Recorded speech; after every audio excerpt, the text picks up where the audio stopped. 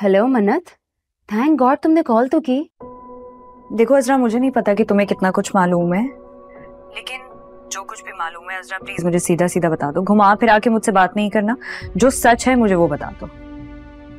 कैसा सच?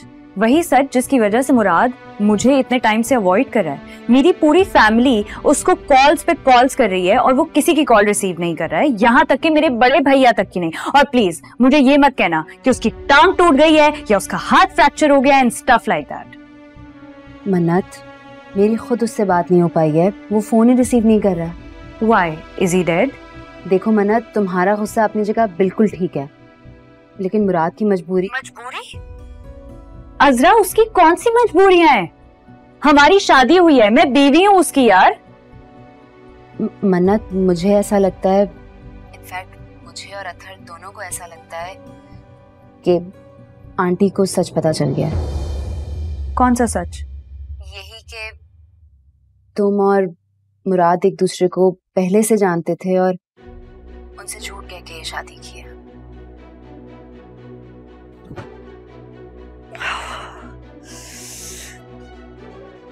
सब पागल हो गए हैं। क्या हो गया मन्नत? भाभी अब अगर मुराद मेरे सामने आया ना मैं उसको गोली मार दूँगी।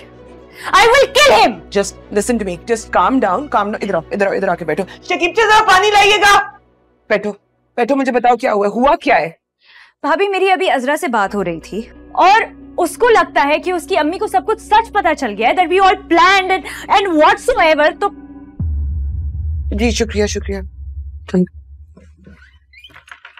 और इसीलिए मुराद कहीं चला गया है। और वो मुझे नहीं बता रहा वो मेरी कॉल नहीं उठा रहा वो घर नहीं आ रहा हम में से किसी से बात नहीं कर रहा वो मेरी कॉल रिसीव नहीं कर रहा वो मुझे नहीं बता रहा दैट इज़ ही डेड और is he alive what Mannat मेरी बात सुनो just calm down sit down take a deep breath इस तरह नहीं मामले हल होते।